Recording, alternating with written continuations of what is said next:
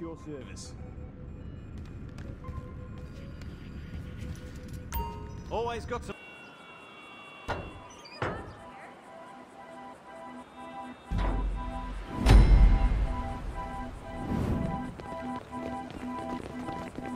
Alright, boss. Lesson two in the Brendan Darcy School of Seafaring. Taking advantage of opportunities at sea.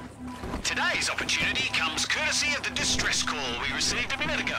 There's a supply ship not far from here. Sounds like they're all in the drink. And as responsible seafarers, the first and only question we need to ask is, what's in it for us? Could be some profitable salvage if you're quick.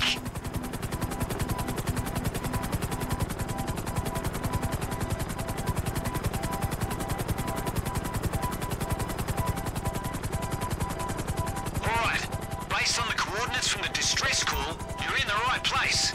If we're lucky, the supplies might still be in one piece. You can hold your breath, right? Or, you know, use a rebreather. Whatever works. My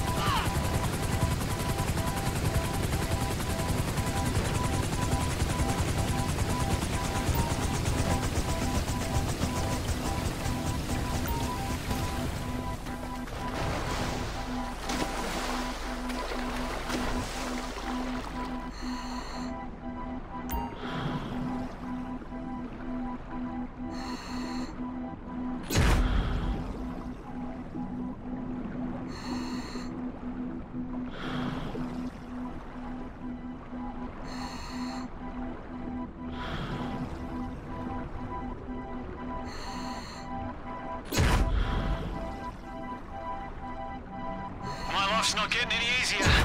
Imagine if one of those lefty politicians stops yachts being a tax write-off. Who's gonna buy one when they stop being, well, free for those who can afford it?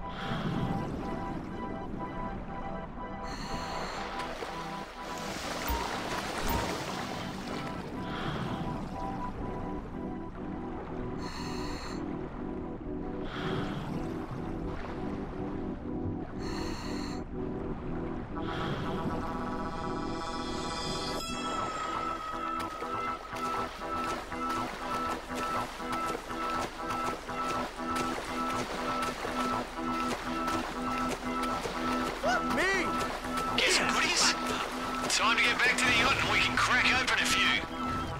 Hey! Hey, who the hell are you? Whoa, don't point that at me.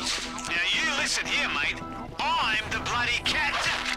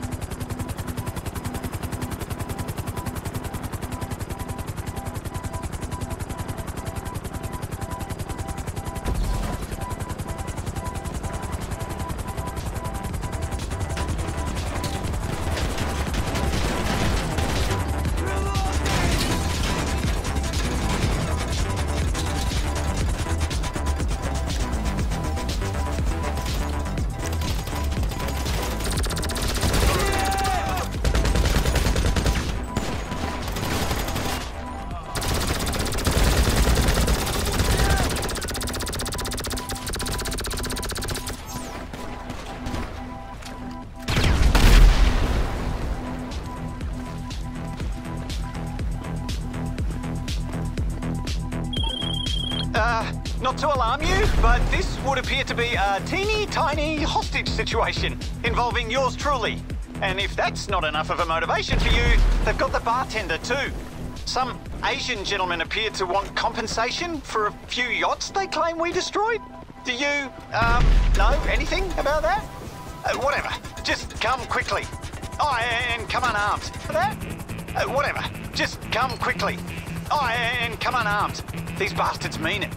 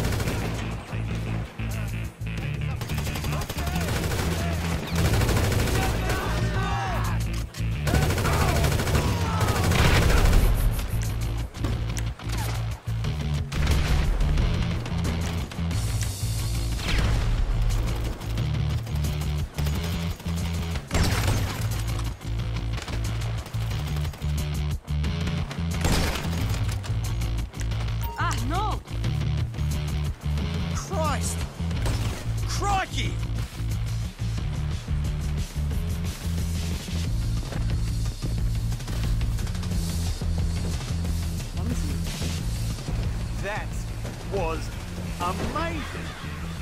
Next time I'm taken hostage, you're my first port of call. Now, let's get back to the yacht.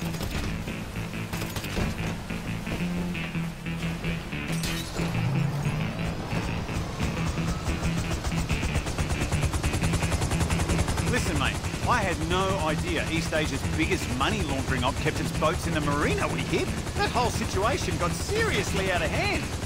You almost lost your skipper and your mixologist in one fell swoop, fatal to any operation. And quite apart from his truly horrifying breath, I reckon that arsehole would have killed us both, even if you'd given him the money.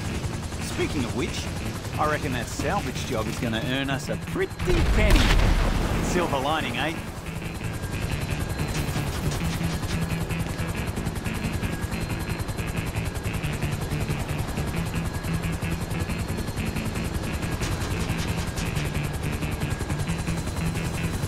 Listen, mate, I had no idea East Asia's biggest silver lining, eh?